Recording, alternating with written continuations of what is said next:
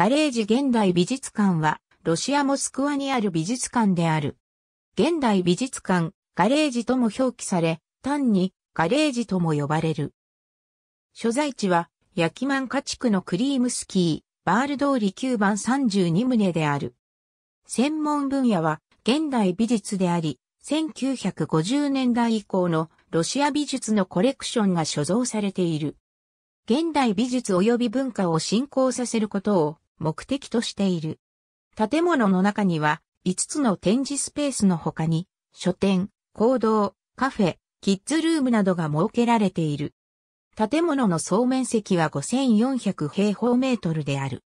モスクワ地下鉄の環状線のオクチャブリスカヤ駅から徒歩でおよそ4分ほどであり、同地下鉄のソコーリニチェスカヤ線のパールククリトゥールイ駅もしくは環状線のパールククリトゥールイ駅からは徒歩でおよそ5分ほどである。2008年9月16日にガレージセンターフォーコンテンポラリーカルチャーの名称で開館された。創設者は実業家ロマン・アブラモビッチ及びその妻、ダーシャ・ジューコワである。バフメーチェフスキーバスガレージの建物バフメーチェフスカや通りに建築家、コンスタンチン・メーリニコフとウラジーミル・シューホフによって1927年に建設されたバスのガレージ、バフメーチェフスキーバスガレージの建物の内部を改築して設けられた。ガレージの名称は、このバスガレージに由来する。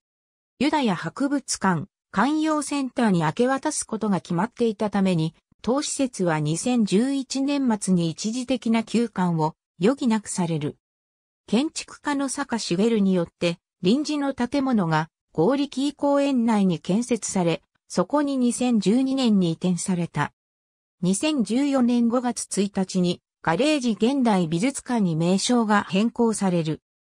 1968年に建造され、レストラン、式として使われていた合力公園内のプレハブコンクリート作りの建物について、建築家レム、コールハースの主催による建築設計事務所である OMA が全面的に改修を行い、2015年6月12日に美術館が移転、開館された。2017年、ユニクロと長期的な提携契約を結ぶ。2020年12月、ロシアにおける日本文化の普及に関する功績が評価され、日本の外務省より、令和2年度外務大臣表彰を受賞している。ありがとうございます。